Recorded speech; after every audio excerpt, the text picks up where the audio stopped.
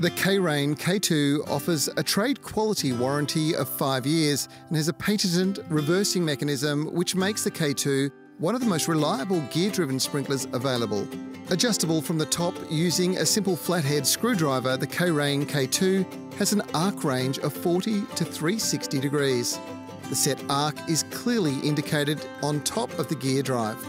The K-Rain K2 gear drive sprays between 8 to 15 metres the spray distance can be adjusted by changing the nozzle. Fine tuning of the distance can be achieved by adjusting the grub screw into the nozzle jet. The ratcheting riser in the K-Rain K2 allows for easy alignment of the spray pattern. For more information on gear drive sprinklers, visit our website at holmanindustries.com.au.